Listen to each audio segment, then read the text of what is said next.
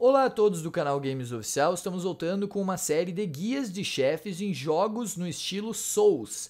Fizemos uma série explicando, dando dicas sobre como você pode vencer chefes em Bloodborne e hoje a gente vem com Demon Souls na versão de PS5, a versão remake. No futuro, eu espero poder trazer aqui uma série parecida com o Demon Souls original no PS3. Eu ainda tenho de comprar alguns equipamentos, mas espero poder trazer também um guia daquela versão, que não se difere muito desta, porque a versão do PS5 é uma versão que tem o mesmo código da do PS3. Alguns chefes foram facilitados em termos do dano que eles provocam, mas o gameplay é estritamente idêntico.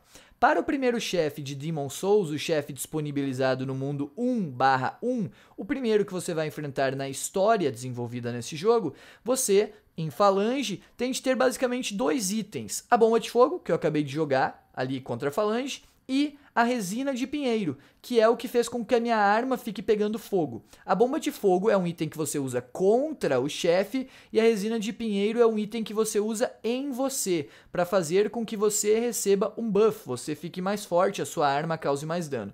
Por que isso? A falange basicamente é um inimigo com fraquíssimo, fraquíssimo uh, defesa, fraquíssima defesa a fogo. Então, se você atacá-la justamente provocando dano de fogo, você conseguirá dano massivo e a matará mais facilmente. Em termos de ataque, esse é um chefe que em si não vai lhe atacar, mas em volta dele você tem vários outros inimigos que podem chegar a conseguir lhe causar dano. O segredo para enfrentar a falange é ficar em movimento ao redor das pilastras, evitando que você seja cercado. Primeiro ponto. Se você for cercado, é muito difícil de se movimentar, e isso basicamente é uma regra geral para todos os jogos nesse estilo. Os inimigos são mortais, mesmo os mais fracos, e por isso você não quer ser cercado por eles.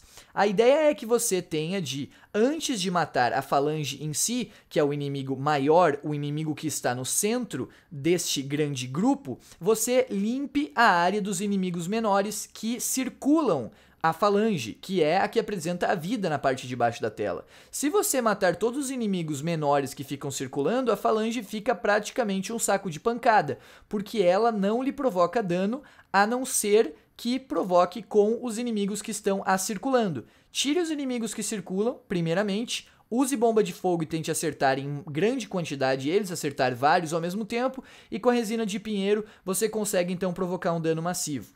Dicas interessantes é que se você não finalizar esses inimigos pequenos, eles recuperam a vida. Então não pare de atacar até que você destrua completamente um inimigo pequeno por vez que seja.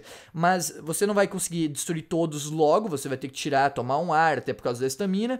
Mas assim, não bata no inimigo e pare de bater, vá embora e depois volte, porque ele vai ter recuperado a vida. Então tente finalizar os inimigos que você começar batendo. Não precisa finalizar todos, não é isso que eu quero dizer. Mas bata no inimigo a ponto de matar ele. Quando você matar matar todos os menores, ou pelo menos limpar bastante a área, você vai ter aí sim um saco de pancada, que é a falange, que pode morrer muito facilmente. Use todas as suas bombas de fogo, não poupe itens aqui, porque esses itens você pode depois comprar com almas, você pode achar pelo mapa. É interessante que você use de forma inteligente o seu escudo para poder bloquear as lanças lançadas por esse chefe, e dessa forma você não pode, você acaba levando menos dano mas fique circulando e tentando se proteger através das pilastras. Bomba de fogo é interessante, especial se você souber mirar e acertar vários inimigos ao mesmo tempo. E claro, com a resina de pinheiro você vai ter que basicamente em todo o tempo estar colocando na sua arma para poder finalizar. Aqui eu vou matar agora finalmente o chefe falange. É um chefe muito fácil. Dois itens são os funda fundamentais a resina de pinheiro para sua arma, a bomba de fogo para você atingir os inimigos. A arma que você vai utilizar é o de menos. Se você tiver uma arma que tem um alcance mais circular, um alcance mais horizontal, você pode conseguir ali atacar vários inimigos menores ao mesmo tempo, e isso é interessante. Se você tiver uma arma com alcance maior, mas a arma não é tão importante quanto esses dois outros itens. Circular pelo mapa com o escudo levantado é algo que vai lhe facilitar para você perder menos vida, mas é um chefe que não vai lhe trazer problemas, ou ao menos não deve lhe trazer problemas nessa versão do PlayStation 5. Na versão do PlayStation 3, como eu falei, ele é idêntico.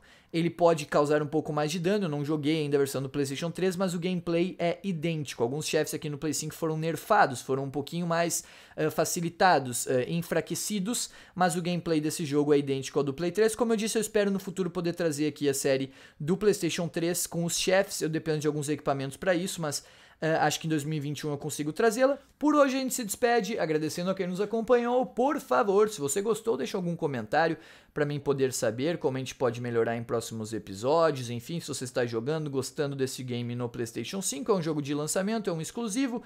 Muito obrigado, fiquem bem e até a próxima!